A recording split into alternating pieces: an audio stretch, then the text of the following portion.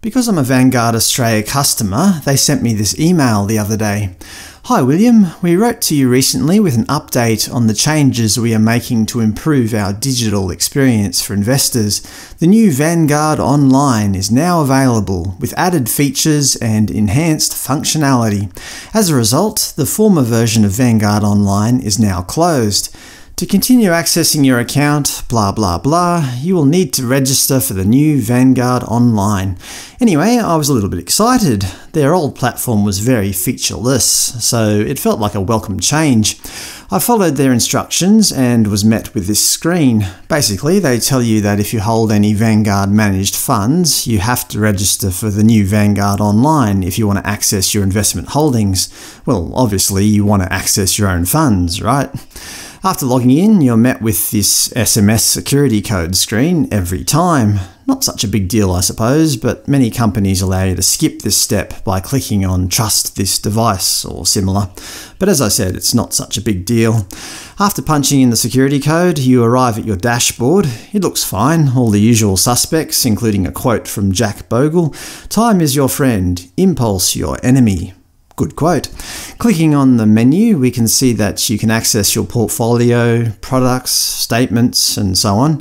Clicking on products, you're met with a search screen. No matter what code or word I type in, nothing comes back. As far as I can tell, this is the way you purchase new funds or ETFs, but nothing comes back. I assume this is just some teething troubles and will be sorted out quickly. But yeah, if I can't buy any of Vanguard's products, then obviously I won't use their online platform.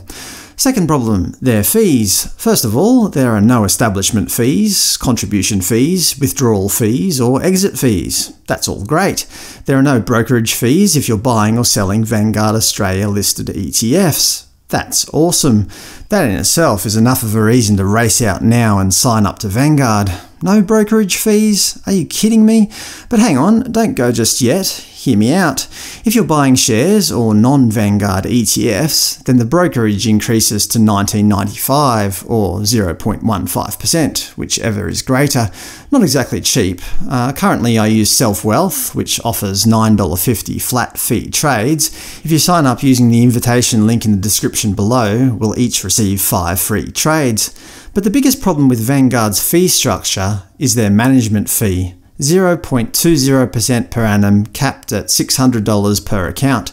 That means you'd reach the cap when you have $300,000 or more invested. This fee means that if you owned, say, VAS, Australia's most popular ETF, which has a management fee of 0.10%, sure, you'd get free trades, but you'd essentially be paying 0.30% in fees for total investments under $300,000. It's just not worth it in my opinion. But the biggest reason I won't be using Vanguard's new online platform is a question tucked away in the FAQs.